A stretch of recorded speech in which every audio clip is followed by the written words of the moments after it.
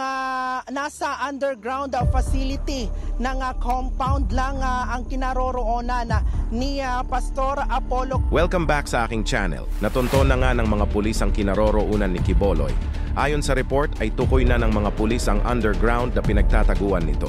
Samantala, hirap pa rin daw silang mahanap ang entrance ng underground kaya patuloy nilang hinahanap ang papasok sa loob. Habang tumatagal ang paghahanap nila kay Kiboloy, ay parami ng parami naman ang mga sumusuporta sa kanya. Halos mag-people power na nga raw ang mga tao sa Davao City.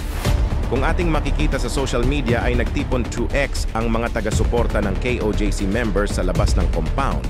Dagdag pa ng karamihan, imposibleng wala sa loob si Kiboloy dahil hindi naman raw umano punta ang mga kasapi nito kung wala si Kiboloy sa loob.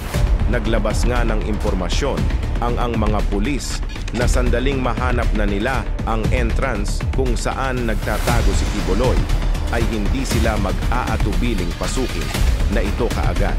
Oras na lang ang hinihintay para mahuli at maiharap na raw sa hukuman ang most wanted person na si Kiboloy